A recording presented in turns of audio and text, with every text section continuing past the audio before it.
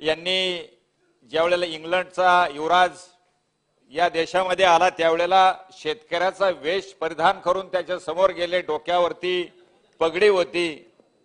त्याचबरोबर साधे कपडे एक चित्र त्यांना दाखवायचं होतं.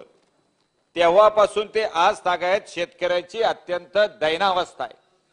आणि म्हणून या विषयाला हात घालत असताना दोन्ही कडनं म्हणजे समोरनं असतं विरोधक असेल यांचं एकमत झालेलं मला तरी दिसतंय की मराठा समाजाला आरक्षण दिलं पाहिजे.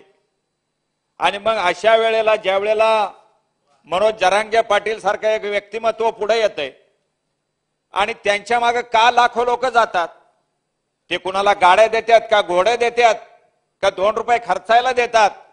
जो तो आपली पदर मोड करून त्यांच्या मागे उभा राहतो. पहाटे तीन वाजता सभेला सुद्धा माणसं लाखोच्या संख्येनं त्यांच्या मागे याचा अर्थ केवळ शेतकऱ्यांची आणि त्यांच्या मुलांची झालेली दैना अवस्था आपण पाहतोय. महात्मा फुले यांनी त्यांच्या लिखाणातनं पण दीडशे वर्षापूर्वी मराठा म्हणणाऱ्या कुणबी या शेतकरी समाजाचा मागासलेपणाची नोंद त्यावेळेला त्यांनी घेतलेली आहे.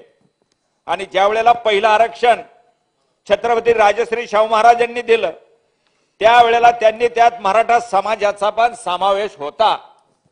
छत्रपती शाहू महाराज व डॉक्टर बाबासाहेब आंबेडकर यांनी कुणब्याची परिषद घेतली. तोच हा मराठा समाज. आणि मग त्या समाजाला आरक्षण का देऊ नये? आपण म्हणतो की आज चर्चा होत असताना एकमेकावरती आरोप प्रत्यारोप करण्यापेक्षा एक न्यायाची भूमिका जर केली तर त्याचा फायदा होईल. जसं डॉक्टर पंजाबराव देशमुखांनी त्या काळात योग्य निर्णय घेतला त्याचा फायदा त्या परिसरातल्या झाला. आज कुणबी नोंदी आपण शोधायला लागलोय. पस्तीस लाखाच्या पुढे आकडा गेलाय मग त्या पस्तीस लाखाच्या जर कुटुंब मोजले तर ते कोटीत जाणार आहे. मग एवढ्या दिवस आपण का नाही केला असा आमच्यासारख्या कार्यकर्त्याला प्रश्न पडतो. आज बिहारमध्ये नितीश कुमार सारख्या एका मुख्यमंत्र्यानं जातनिहाय जनगणना केली आणि त्यातनं आरक्षणाची टक्केवारी वाढवली. इथं मी म्हणणार नाही कुणाच्या तोंडातला घास काढा. परंतु कायदेशीर अभ्यास करून आरक्षण हे दिलंच पाहिजे. आणि म्हणून मनोज जरांगे पाटील सारख्या माणसाला आज आपण सगळे पाठिंबा देतोय. आज शेती आपण पाहतोय. शेतीची दुरावस्था काय झाली? आपण निर्यात एखाद्या पिकाला चांगले दर मिळायला लागले की लगेच निर्यात बंदी करतो. का करतो असं? आणि एखाद्या पिकाचे इथं कमतरता पडली दर जादा झाले तर मग कुठनं तरी नेपाळवरनं आपण टोमॅटो सारखं पीक आणतो. कांद्यावरती अमुक बंदी टोमॅटोवरती इकडं आणणं किंवा अनेक शेतीशी निगडीत विषय त्या ठिकाणी आज आपण शेतकऱ्यांना अत्यंत म्हणजे त्यांना दैनावस्थेत पाठवतो असं माझ्यासारख्या कार्यकर्त्याचं मत आहे. आणि मग यामुळे काय झालं एक तर मराठा समाजामध्ये शिक्षणाचा अभाव आहे. बेरोजगारीचं प्रमाण खूप मोठ्या प्रमाणात आहे. लोकांना नोकऱ्या नाही. मध्यंतरी एका वर्तमानपत्रानं सर्वे केला. सकाळसारखं वर्तमानपत्र होतं. अनेक शेकडो मुलींना प्रश्न विचारले की तुम्हाला भावी पती कसा पाहिजे? तर अख्ख्या ह्या सगळ्या शेकडो हजारो मध्ये फक्त एकाच मुलीने सांगितलं की शेतकरी मला पती हवाय. म्हणजे कोणतीही मुलगी शेतकऱ्याच्या घरात जायला तयार नाही. त्या विचाराला पत्नी म्हणून आज मिळायला तयार नाही. ही कशामुळे दुरावस्था झाली? याचं कारण अर्थकारण आहे. आणि म्हणून ज्या वेळेला त्र्या सत्तर टक्क्यापेक्षा जास्त उपजीविकेचं साधन म्हणून आज शेतकऱ्यांना शेती हेच आहे. आणि मग तो ढोर मेहनत करतोय त्या शेतीसाठी. काबाड कष्ट करतोय. पाठ तीन चारला उठतो. आणि कामाला लागतो. कुटुंब अख्खं कामाला लागत असतं. पदरात काही पडत नाही. आज आपण पाहतो की जे प्रोडक्शन कॉस्ट असती म्हणजे ती प्रोडक्शन कॉस्ट आज कुठल्याही पिकाची एवढी झाली की त्या शेतकऱ्याला काही राहत नाही. कधी अवकाळी पाऊस येतो कधी दुष्काळ पडतो कधी इतका पाऊस पडतो की त्याचं वाटोळ होतं पिकांचं. म्हणजे त्यांनी घातलेले पैसे सुद्धा त्याला मिळत नाही. अशा वेळेला त्याला वाटतं की माझ्या मुलाला कुठंतरी नोकरी मिळावी. कुठंतरी त्याचा फायदा व्हावा या आरक्षणाचा. आणि म्हणून आरक्षण हे निश्चितपणे गरजेचं आहे. आज शेतीपासून तरुण मुलं बाजूला चाललेत. काय कारण? कारण त्याला काय किंमतच नाही राहिली उपजीविकेचं साधनच नाही राहिलं.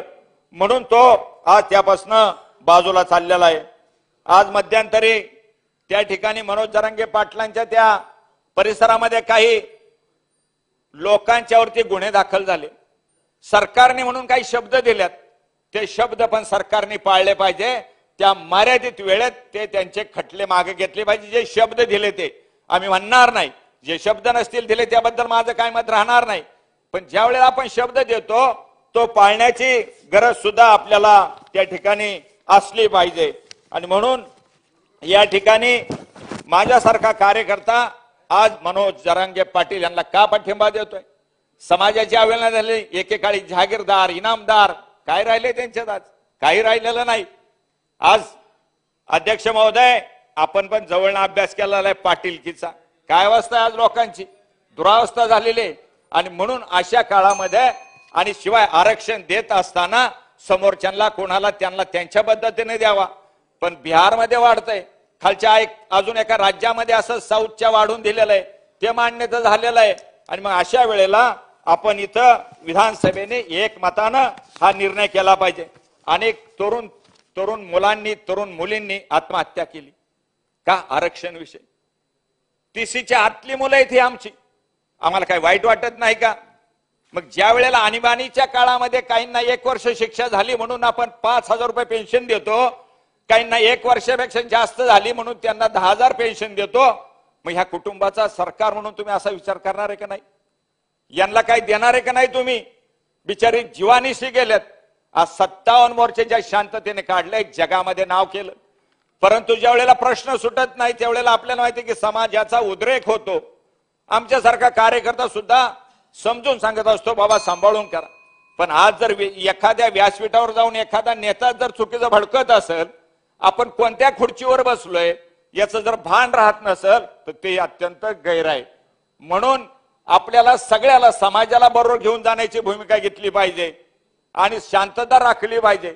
महाराष्ट्र हा शांतता प्रिय कधी काळी कैलासवासी यशवंतराव चव्हाण यांनी आपल्याला माहिती आहे की इकॉनॉमिकली विकर सेक्शनमध्ये मदत केली पुढे ती बंद झाली. म्हणून परत नुकसान झालं.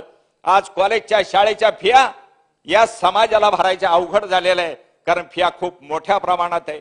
आणि म्हणून आरक्षणाची त्या ठिकाणी निश्चितपणे गरज आहे. असं आरक्षण त्या ठिकाणी मराठा समाजाला निश्चितपणे मिळालंच पाहिजे. ही भूमिका आज माझ्या माहितीने इथल्या सगळ्या विधानसभेच्या सदस्यांची कारण मी काल आज दिवसभर आहे सभापती अध्यक्ष महोदय. आणि लोकांची भूमिका तीच आहे सगळ्यांची. कुणी वेगळं काही बोललेलं मी तरी ऐकलेलं नाही. मग सगळ्यांचं एकमत असेल तर आपल्याला द्यायला काय हरकत आहे? म्हणून ही भूमिका आमची पण आहे. आणि ती निश्चितपणे आपण सरकार म्हणून द्यावी अशी विनंती करेल. आणि अध्यक्ष महोदय दुसरा विषय सांगतो. हा विषय सोडून दुसरा आहे माझं. ज्या वेळेला आपण ठरवतो की एक नाव एकदा निघून गेलं तर त्याला परत लगेच संधी देत नाही. दुपारी एक नाव निघून गेलं मी नाव घेत नाही पण त्याला संधी दिली. मी सकाळपासून बसलो मी चार दहा चिठ्ठ्या पाठवल्या माझा नंबर कितो आहे कितो आहे ते कागद मी जपून ठेवलाय. आणि मग माझा नंबर दुसरा असताना परत तिसरा चौथा पाचवा असा अन्याय. मला आठवतंय दिलीपराव वळसे पाटील साहेब ज्या वेळेला खुर्ची होते न्याय द्यायचे. आणि ही खुर्ची विरोधकांना जास्त संधी बोलण्याची असती. विरोधकांना न्याय देण्याचा असतो सत्तारूढ तर सत्तारूढ असतो. पण असं नसतं की टाइम तो संख्यात्मक कधी दिलेला जात नाही. मला आठवतंय म्हणून संख्यात्मक न देता त्या ठिकाणी निम निम असं कायदा असेल तर अध्यक्ष महोदय मला सांगायचं तसं. मला समजून सांगा कायदा असेल. तर माझं माझं म्हणणं काही राहणार नाही.